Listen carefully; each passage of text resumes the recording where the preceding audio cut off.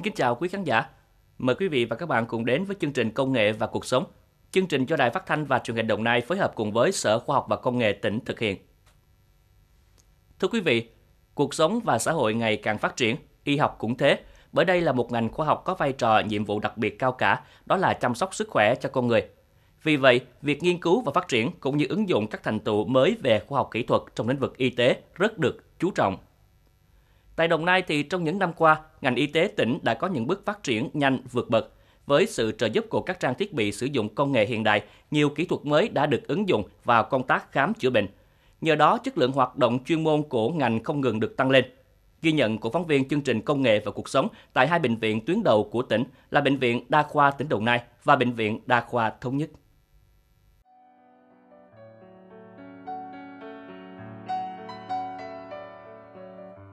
Thời gian qua, Bệnh viện Đa khoa Đồng Nai là đơn vị đi đầu của tỉnh trong việc áp dụng những phương pháp điều trị mới, áp dụng khoa học kỹ thuật vào trong điều trị cho những chuyên ngành như tim mạch can thiệp, thần kinh, chuyên ngành ung thư, phẫu thuật tim. Riêng khoa tim mạch can thiệp, gần 3 năm qua, bệnh viện này đã tiến hành hơn 4.000 trường hợp điều trị tim mạch can thiệp, trong đó có gần 1.000 là điều trị cấp cứu. Trong cái lĩnh lĩnh vực mà can thiệp à, tim mạch á, thì mình cũng đã cấp cứu rất là nhiều bệnh nhân nặng nhờ máu cơ tim. À, gần đây thì mình có à, làm những cái bệnh tim bẩm sinh, tức là những cái ca mà có thể là mình sẽ à, đóng dù thâm liên nhĩ, à, còn ống động mạch à, tại bệnh viện đa khoa Đồng Nai. À, mình có thể đặt máy tạo nhịp ở những cái bệnh nhân mà bị cái nhịp tim chậm à, trong cái chuyên ngành kêu là bị à, block nhĩ thất à, những cái những block nhĩ thất độ 3 thì mình sẽ có những cái chỉ định à, để đặt máy tạo nhịp thì ở đây mình đã tiến hành can thiệp được. À, ngoài ra những cái à, chuyên ngành khác như mạch não thì mình cũng có làm cái can thiệp mạch não cũng đạt được cái chứng chỉ của châu Âu. À, rồi làm toxi gan à, làm tắt những cái động mạch gan à, để mà nuôi cái khối u để làm cho những cái u gan à, ác tính nó bị thoái triển. Thì ở đây mình cũng đã tiến hành được. À, sắp tới đây mình sẽ à, gửi bác sĩ à, lên bệnh viện chợ rẫy học để mà phát triển về cái mạch máu ngoại biên.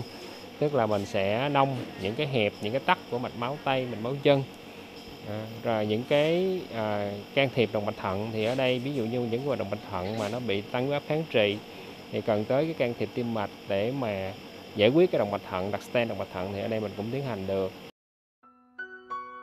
Nhờ áp dụng nhiều kỹ thuật mới, không mất thời gian chuyển tuyến, bác sĩ có chuyên môn cao nên việc chuẩn đoán và điều trị rất kịp thời, chuẩn xác. Đối với những cái trường hợp này trước đây thì hầu như là mình phải chuyển tuyến lên các bệnh viện tuyến trên, ví dụ như bệnh viện Chợ Rẫy hay là viện Tim thì gần à, thì từ khi mà chuyên ngành tim mạch can thiệp à, đưa vào ra, ra đời à, phát triển cho tới bệnh viện ở Đồng Nai trong vòng 3 năm nay thì hầu như mình không còn chuyển tuyến một ca nào nữa. Một số cái kỹ thuật khác ví dụ như à, kỹ thuật mổ tim hở thì đối với những cái trường hợp mổ tim hở trước đây thì mình cũng phải chuyển tuyến lên. Thì hiện tại mình đã làm chủ một số kỹ thuật lớn và mình cũng có những cái hợp đồng với bệnh viện Chợ Rẫy khi nào có những cái trường hợp tương đối phức tạp thì mới sợ có sự hỗ trợ của bệnh viện Chợ Rẫy trong công tác phẫu thuật. Đáng nói, từ khi bệnh viện phát triển những kỹ thuật cao trong điều trị bệnh đã mang lại rất nhiều lợi ích và đối tượng hưởng lợi nhiều nhất chính là người bệnh. Một trong những cái mà mình dễ thấy nhất đó là cái tình trạng cái tỷ lệ chuyển tuyến đối với một số cái mặt bệnh đặc trưng nó sẽ giảm xuống cái thứ hai đó là cái hiệu quả kinh tế mang lại tức là thay vì người bệnh phải à, phước hay nói là ví dụ một người bệnh thì phải ít nhất là ba bốn người nhà nuôi thì khi mà một bệnh nhân được chuyển lên Sài Gòn tất nhiên họ cũng sẽ điều trị uh, cũng sẽ mang lại kết quả điều trị tốt cho bệnh nhân. Nhưng kèm theo đó sẽ là những cái hệ lụy kinh tế khi mà có phải rất nhiều người đi lên nuôi trên trên uh, nuôi bệnh ở trên Sài Gòn. Bù lại thì khi mà mình điều trị tại chỗ và đặc biệt là trong giai đoạn đầu triển khai thì có sự hỗ trợ từ các nguồn lực kinh tế khác thì sẽ đem lại cái hiệu quả kinh tế đặc biệt là cho người bệnh. Cái cuối cùng á, là khi mà uh, những cái điều trị uh, ở trong bệnh viện với những cái điều trị đó mình thành công thì đó sẽ là những cái mũi nhọn những cái mũi nhọn để phát triển cả cả lôi cả một cái hệ thống điều trị của bệnh viện phát triển lên theo. À, đồng thời thì qua những cái đó thì cũng sẽ nâng cao uy tín của bệnh viện nâng cao lòng tin của người dân đối với hình ảnh của bệnh viện. Được biết Bệnh viện Đa khoa Đồng Nai đã nhận được chứng chỉ tiêu chuẩn vàng về điều trị đột quỵ và gần đây nhất là tiêu chuẩn Bạch Kim đây là đánh giá của Hội đột quỵ châu Âu về những đơn vị chữa trị đột quỵ tốt nhất trên toàn thế giới. Tại Việt Nam gần đây, chỉ có 3 bệnh viện đạt được tiêu chuẩn danh giá này. Cũng theo lãnh đạo Bệnh viện Đa khoa Đồng Nai, thời gian tới, việc phát triển khoa học kỹ thuật cao trong điều trị bệnh là một định hướng chiến lược của đơn vị. Sắp tới, bệnh viện sẽ tiếp tục hướng tới những chuyên ngành phức tạp hơn với sự hỗ trợ chuyển giao từ các bệnh viện đầu ngành.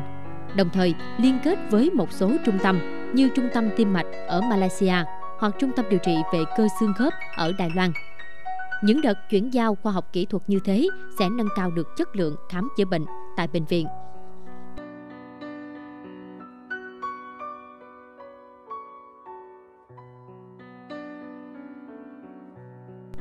Tại Bệnh viện Đa khoa Thống nhất, việc tiếp nhận và thực hiện các kỹ thuật cao, kỹ thuật mới luôn được bệnh viện hết sức quan tâm. Từ đó đã phục vụ chăm sóc sức khỏe cho bệnh nhân trên địa bàn được tốt hơn. Hiện mỗi ngày, Bệnh viện Đa khoa Thống nhất tiếp nhận hàng ngàn lượt điều trị ngoại trú và nội trú. Trước đây khi gặp những trường hợp bệnh nhân nặng, đòi hỏi các kỹ thuật cao để điều trị, bệnh viện đều phải chuyển bệnh nhân lên tuyến trên. Thì nay, với việc thực hiện thành công những kỹ thuật cao, những bệnh nhân này sẽ không cần phải chuyển viện nữa.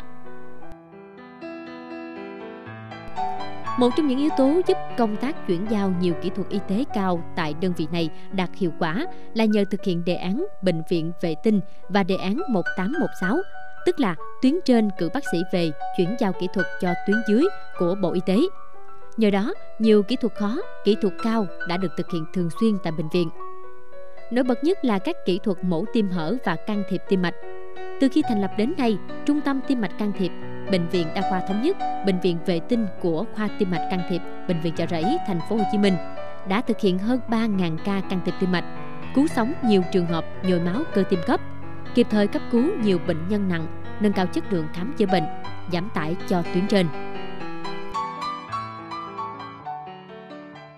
Từ năm 2015 đến nay thì chúng tôi triển khai 4 gói kỹ thuật tim mạch can thiệp bao gồm chụp và can thiệp mạch vành qua da, chụp và can thiệp mạch máu ngoại biên qua da, à, giải quyết một số tật tim bẩm sinh như là thông liên nhĩ, thông liên thất, còn ống động mạch bằng cách là bít dù qua da và triển khai kỹ thuật là nong van hai lá bằng bóng qua da. Và từ à, tháng 5 năm 2019 thì chúng tôi đã bắt đầu triển khai là khảo sát và cắt đốt điện sinh lý để giải quyết những rối loạn nhịp nhanh nguy hiểm thì cho tới hôm nay thì chúng tôi cũng đã khảo sát được trên 70% 70 trường hợp và đã cắt đốt được 69 trường hợp thành công. Cũng nhờ thực hiện đề án bệnh viện vệ tinh và đề án 1816, nhiều bác sĩ trong bệnh viện đa khoa thống nhất có thể tự thực hiện được các kỹ thuật khó, chuyên sâu như vi phẫu, nội soi khớp gối, khớp vai, nội soi mật tụy ngược dòng, lấy sỏi qua da, tạo hình cột sống, lọc máu những bệnh nhân bị suy đa cơ quan. Hôm nay chúng tôi đã triển khai được nhiều kỹ thuật cao. À, về mặt à, vi phẫu thì chúng tôi có thể nối được à, bàn tay đứt lìa hay là kể cả ngón tay hoặc là những vạt da à, có cuốn à, những cái vạt da à, tự do à, nó giúp cho che phủ những cái cái phần mềm lộ rất là rộng mà chúng tôi vẫn làm làm được à, bên cạnh đó nội soi chúng tôi đã làm được nội soi khớp gối nội soi khớp vai Ờ, và nữa là chúng tôi đã thay được khớp háng thay được khớp gối. À, đó là những kỹ thuật cao mà chúng tôi đã triển khai được. Ngoài khoa tim mạch can thiệp, khoa chấn thương chỉnh hình của Bệnh viện Đa khoa Thống nhất cũng là khoa vệ tinh của khoa chấn thương chỉnh hình Bệnh viện Chợ Rẫy. Bệnh viện Đa khoa Thống nhất cũng cử nhiều bác sĩ đi học hoặc mời chuyên gia của các bệnh viện nổi tiếng như Bệnh viện Chấn thương chỉnh hình, Bệnh viện 115, Bệnh viện Đại học Y Dược Thành phố Hồ Chí Minh để chuyển giao dần những kỹ thuật mới. Đây cũng là động lực để các bác sĩ tập trung làm việc, cống hiến và gắn bó hơn với bệnh viện.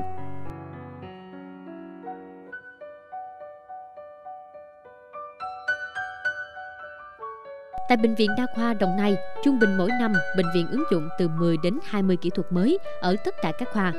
Đồng nghĩa với đó là các y bác sĩ của bệnh viện sẽ ghi nhận lại những hiệu quả thực tế và báo cáo trong những hội nghị khoa học kỹ thuật thường niên của bệnh viện. Trong quá trình ứng dụng và thực hiện các đề tài khoa học, bệnh viện đều cấp kinh phí cho các bác sĩ đi đào tạo hoặc mời các chuyên gia từ các bệnh viện lớn về chuyển giao kỹ thuật cho bác sĩ của bệnh viện. Với những đề tài nghiên cứu lớn có phạm vi rộng, phòng nghiên cứu khoa học của bệnh viện, các công ty sẽ tài trợ nếu đề tài cấp ngành Sở Khoa học Công nghệ sẽ cấp kinh phí cho y bác sĩ thực hiện.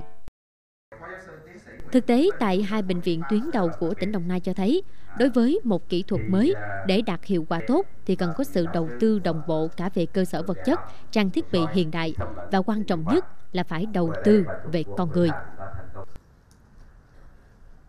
Mình được à, hỗ trợ hai cái máy DSA, đặc biệt là cái máy DSA à, thứ hai, hai cái máy hiệu Siemens, hai cái máy DSA, đặc biệt máy DCA mới mình mới nhận thì ờ, khoảng ờ, ờ, 40 tỷ đó thì nó có hai bệnh viện à, và nó có à, cái chức năng là đo à, siêu âm trong lòng mạch vành tức là IVUS hoặc là đo cái à, à, lưu lượng dự trữ mạch vành. Ở trong chuyên ngành mình kêu là FFA đó thì à, về mặt trang thiết bị thì à, tốt về con người thì mình cũng à, được đào tạo à, rất là chuẩn hóa cái bản thân tôi thì làm ở viện tim à, cũng đã nhiều năm. Và các cái đàn em ở đây thì cũng được à, đào tạo ở tuyến trên như là ở chợ rẫy ở viện tim. Bác sĩ à, muốn làm can thiệp thì phải về làm nội khoa khoảng 2 năm. Sau đó mình cử lên tuyến trên học thêm 2 năm nữa là 4 năm. Về làm với các bác sĩ đứng chính ở đây khoảng 2 năm tới 3 năm nữa. Rồi đi học sau khi mà đi học chuyên khoa 1 hoặc là thạc sĩ sau đại học đó, thì mình mới cho bác sĩ đứng làm chính ở nên cái quy trình đào tạo mình sẽ chuẩn rất là chuẩn hóa để triển khai mỗi kỹ thuật như vậy thì trung bình à, ở bệnh viện đa khoa Đồng Nai thì cái thời gian chuẩn bị về con người có khi phải kéo dài từ khoảng 2 đến 5 năm. Có những kỹ thuật phải triển khai trước đó từ 5 năm thì đến cái thời điểm này mới triển khai nổi. Một là phải có cơ sở tầng là phòng ốc cơ sở tầng nó phải đủ điều kiện để lắp đặt các máy móc giống như là bàn mổ, đèn mổ rồi các phương tiện kỹ thuật cao giống như là siêu âm rồi DACT, MRI hoặc là cả những cái vấn đề ờ, đó là những kỹ thuật ờ, và vòng mổ đặc biệt chuyên rộng chuyên sâu. Thế thì làm cái đấy thì đấy là vấn đề đầu tiên về cơ sở tầng. Cái vấn đề thứ hai thì song song với cơ sở tầng thì đi với trang thiết bị và con người. Trong đó nhân tố con người vẫn là quan trọng nhất. Con người làm cái gì được phải đào tạo đến nơi ăn trốn và đào chuyên sâu và rất sâu thì mới có thể làm được. Như ví dụ tôi nói là hồi xưa chúng tôi chỉ có một khoang nội tim mạch cơ cấp cứu thôi. Hồi đó thì nếu mà trường chỉ có nội tiêm mới cấp cứu thì không thể làm được cái sâu hơn. Ví dụ như là cái can thiệp mạch mạch stent hoặc là đặt máy tạo nhịp hoặc là là dùng những cái thủ thuật lớn sâu để mà uh, bít lỗ động có động mạch thông liên nhĩ thông liên thất. Như vậy là chúng tôi cũng phải đào tạo đội ngũ và tạo một cái phòng